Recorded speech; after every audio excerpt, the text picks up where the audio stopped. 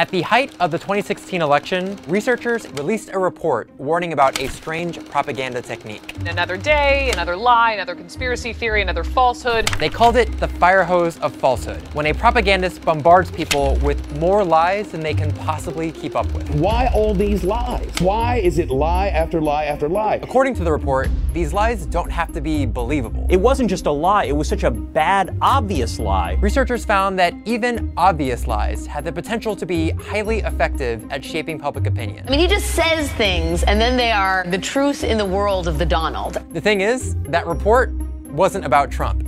It didn't even mention him. It was about Russian propaganda. And it raised an interesting question. How could a powerful leader benefit from telling obvious lies? signed more bills than any president ever. The president just simply lies for no reason. I was against the war in Iraq. Why lie about something that you don't have to lie about? You have people registered in two states. They vote twice. Why does he keep repeating it if it's obviously not true? We're gonna get to Trump in a minute. Hell yeah. But before that, we have to talk to Christopher Paul. I'm a senior social scientist at the RAND Corporation. He co-wrote the report on Russian fire hosing, and he described it as having four key characteristics. Russian propaganda is high volume and multi-channel. It's rapid, continuous, and repetitive. It makes no commitment to objective reality, and it makes no commitment to consistency. Ooh, sounds like Trump. Can you give me a second? I'm building a narrative here. The first two characteristics are pretty standard for propaganda. Research shows that if we hear a lie from multiple sources, we think of it as more credible. The same is true for lies we hear repeatedly. The more familiar we are with a lie, the more likely we are to think of it as true. But the last two characteristics, no commitment to objective reality or consistency, that's surprising. They don't care that much about the truth. Much of their propaganda is either completely false or has a kernel of truth. Maybe the most jarring example of this was in 2014, when the world watched as Russian troops entered Ukraine. There were a bunch of Russian soldiers wearing uniforms without insignia, and those were dubbed Little Green Men. This was a huge deal. Russia was essentially invading a country they had said they were not going to invade. But when Putin was asked about it, were these Russian soldiers? No. These were local self-defense forces. Putin vehemently denied, no, no, the little green men are not Russian soldiers. It wasn't just that Putin was lying. He was lying about something so obvious. There was footage of the soldiers airing on TV. Russian troops spreading out throughout the uh, strategic Crimean Peninsula. And then, a few weeks later, he just said the opposite. Of course, we had our servicemen. They were acting uh, very correctly. No, I'm sorry. No, I misspoke. Just, of course, we have troops there. This is counterintuitive. This is not what I expected, because I come from an influence background that says credibility is king and the truth will always win. Part of being a good liar is not getting caught, making sure your lies are at least somewhat believable. When Dick Cheney said, There is no doubt Saddam Hussein now has weapons of mass destruction. He was lying, but to most people who aren't intelligence experts, it sounded credible. If someone asks, Hey, did you, um, eat my sandwich? You'd say, Nope, I brought my lunch from home. You wouldn't say, You never had a sandwich.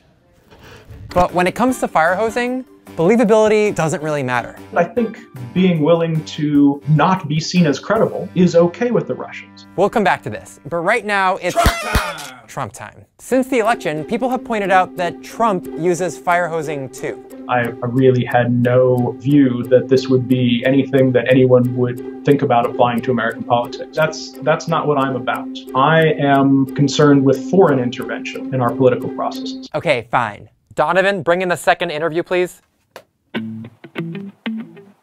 Thank you.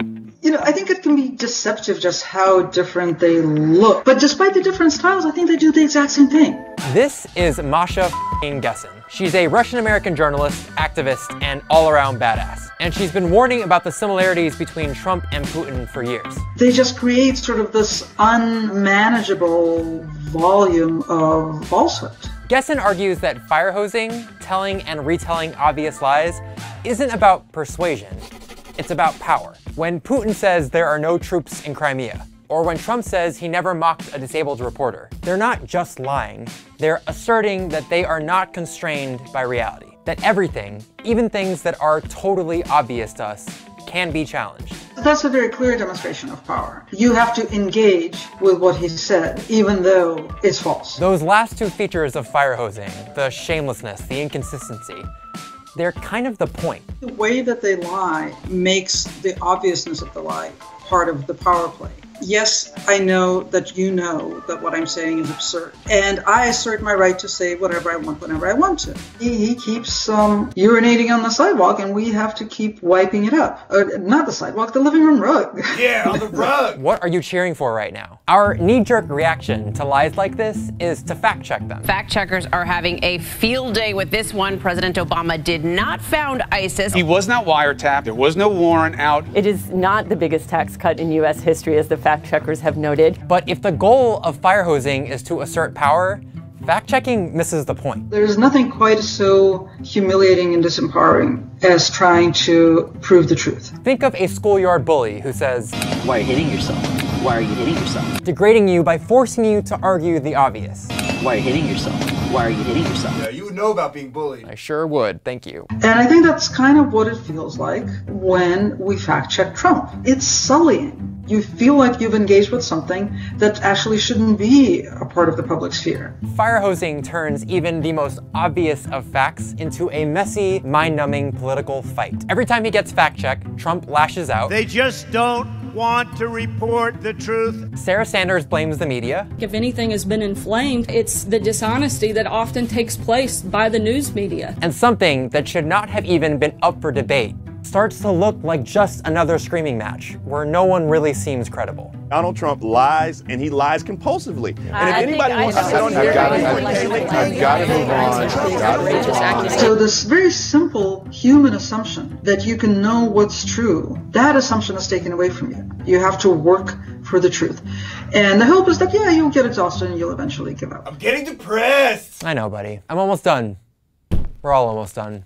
The ultimate goal of fire hosing isn't to pass lies off as truth. It's to rob concepts like facts and reality of their power. But you stand by that claim about him? I don't stand by anything. I have my own opinions. You can have your own opinions. To reduce truth to just a position. Isn't it important just to like have factual debates when discussing these things? Well, as you just commented, there's lots of different ways of looking at it. You're saying it's a falsehood, and they're giving alternative facts. It's somebody's version of the truth, not the truth. Truth is About- truth. I, I don't mean to go like. I, no, I it isn't truth. Truth isn't truth. And if that sounds a little abstract, just listen to what Putin said during his press conference with Trump in July. As to who is to be believed, you can trust no one. He defends the interests of the United States of America, and I do defend the interests of the Russian Federation. So Putin just basically wanted to establish as a baseline that no one can be trusted. Everybody is pursuing their, their own strategic interests, and there's no such thing as the truth. And a few days later, Trump took that argument a step further. Just remember, what you're seeing and what you're reading is not what's happening. Just stick with us. Don't believe the crap you see from these people, the fake news. Just stick with us. Essentially, reality is about picking sides. And they're basically saying there's no war between people who know the truth and people who are lying. There's only positional warfare. Whoever has a better position, whoever has objectively more power, owns reality. And it's remarkable how effective that is. Maybe you can just start acting like you have total power. And it will not exactly give you total power, but it will give you a hell of a lot more power than an American president should have. You never had a sandwich?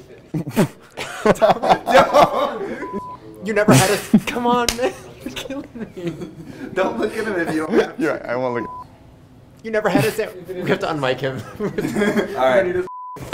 You're off the set.